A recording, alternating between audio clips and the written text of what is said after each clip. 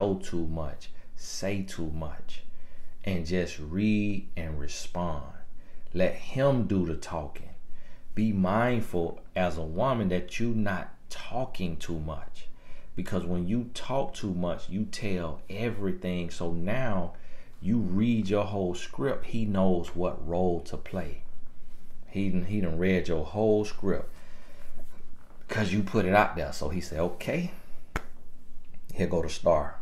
Okay, I'm finna play Denzel.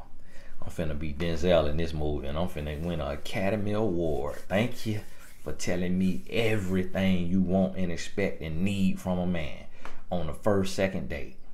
You you don't have to tell a man what you want, need, and expect from a man because he already know what a good man is.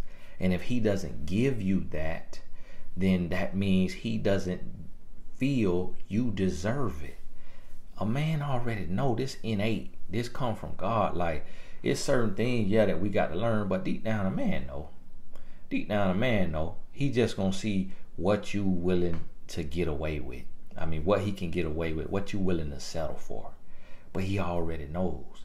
But if he doesn't want to give you that because he don't feel you worthy of it, he doesn't feel you're his wife, then guess what he might do? What he might do is sit there and let you talk, you running your mouth. And he just taking notes. Okay. So she like a man to open the door. I'm a dog. I'm a cheater.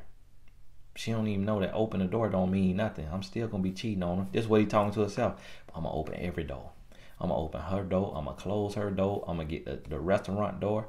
And she think a man should pull out her chair in the restaurant. Okay, I'm pull out a chair. Even though her arms work, she want to feel like a queen. I'm pull out the chair. I'm pull out a chair. Oh, she think a man should pay for the whole bill on the first date. Okay, I'm gonna pay for it, no doubt. Mm, pay for it, absolutely.